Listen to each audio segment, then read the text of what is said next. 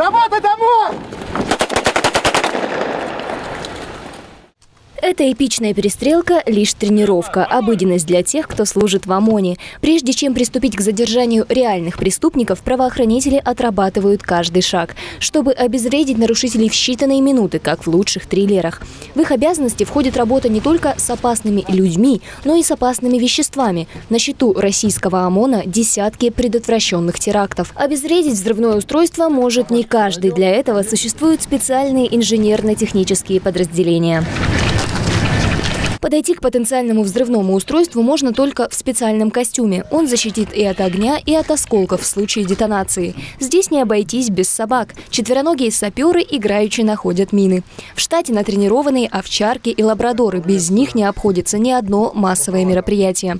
В помощь ОМОНовцам новейшее оборудование. Специальный передвижной комплекс «Каркас» сканирует содержимое объекта. А этот робот, похожий на мини-танк, комплекс МРК-15. Именно он уничтожает или эвакуирует эвакуируют взрывные устройства. За плечами сотрудников подмосковного ОМОНа и выезды в горячие точки и ликвидация организованной преступности. Поэтому каждый служащий еще и спортсмен.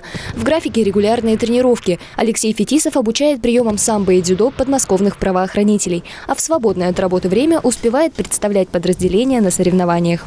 Служба в данном подразделении мне позволяет не только служить, но и развиваться как спортсмену.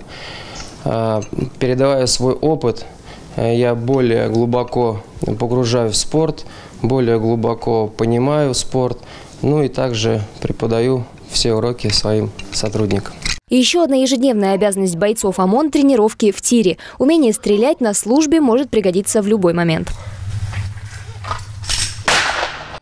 ОМОН «Русич» находится в деревне Ерина Подольского городского округа, но работают бойцы сразу в нескольких муниципалитетах, в том числе и в нашем. В этом году подразделению исполнится 28 лет. Олеся Попова, Ольга Садовская, Видное ТВ.